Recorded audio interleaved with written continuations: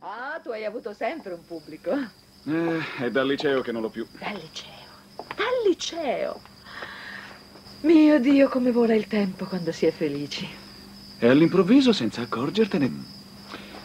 Già, la vita avanza a passi da giganti. No. Bene.